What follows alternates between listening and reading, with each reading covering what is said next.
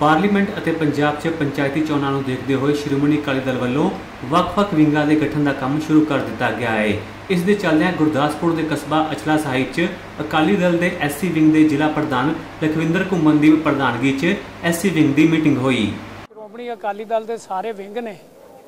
ਉਹਨਾਂ ਨੂੰ ਐਕਟੀਵੇਟ ਕੀਤਾ ਆ। ਉਹਦੀ ਕੜੀ ਵਜੋਂ ਅੱਜ ਜੋ ਸ਼੍ਰੋਮਣੀ ਅਕਾਲੀ ਦਲ ਦਾ ਐਸਸੀ ਵਿੰਗ ਆ ਉਹਦਾ ਜ਼ਿਲ੍ਹਾ ਗੁਰਦਾਸਪੁਰ ਦੀ ਇੱਥੇ ਮੀਟਿੰਗ ਬੁਲਾਈ ਗਈ।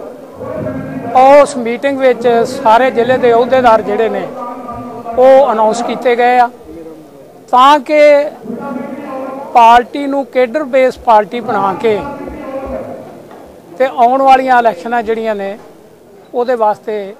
ਪਾਰਟੀ ਨੂੰ ਤਿਆਰ ਕੀਤਾ ਜਾਵੇ। ਅੱਜ ਅਸੀਂ ਅਹੁਦੇਦਾਰੀਆਂ ਅਨਾਉਂਸ ਕਰਨ ਤੋਂ ਪਹਿਲਾਂ ਐਸੀ ਵਿੰਗ ਦੇ ਵਰਕਰਾਂ ਦੇ ਨਾਲ ਇੱਕ ਮੀਟਿੰਗ ਕੀਤੀ, ਜਿਹਦੇ ਵਿੱਚ ਸੇਵਾ ਸਿੰਘ ਜੀ ਸੇਖਵਾ, ਸਰਦਾਰ ਰਵੀਕਰਨ ਸਿੰਘ ਜੀ ਕਾਲੋ ਤੇ ਜ਼ਿਲ੍ਹੇ ਦੀ ਹੋਰ ਸਮੁੱਚੀ ਜਿਹੜੀ ਆ ਸੀਨੀਅਰ ਲੀਡਰਸ਼ਿਪ ਪਹੁੰਚੀ ਸੀ, ਅਸੀਂ ਵਿਚਾਰ ਕੀਤਾ। ਪਿਛਲੇ ਦਿਨੀ ਸਰਦਾਰ ਸੁਖਬੀਰ ਸਿੰਘ ਜੀ ਬਾਦਲ ਸਾਹਿਬ ਨੇ ਚੰਡੀਗੜ੍ਹ ਵਿਖੇ ਜ਼ਿਲ੍ਹਾ ਪ੍ਰਧਾਨਾਂ ਦੀ ਮੀਟਿੰਗ ਦੇ ਵਿੱਚ ਇਹ ਐਲਾਨ ਕੀਤਾ ਸੀ ਕਿ ਆਉਣ ਵਾਲੀਆਂ ਸਰਪੰਚੀ, ਬਲਾਕ ਸੰਮਤੀ, ਜ਼ਿਲ੍ਹਾ ਪ੍ਰੀਸ਼ਦ ਚੋਣਾਂ ਦੇ ਵਿੱਚ ਜਿਹੜੇ ਮਿਹਨਤੀ ਐਸੀ ਵਿੰਗ ਦੇ ਵਰਕਰ ਨੇ ਉਹਨਾਂ ਨੂੰ ਟਿਕਟਾਂ ਦੇ ਕੇ ਤੇ ਮੈਦਾਨ ਦੇ ਵਿੱਚ ਉਤਾਰਿਆ ਜਾਏਗਾ।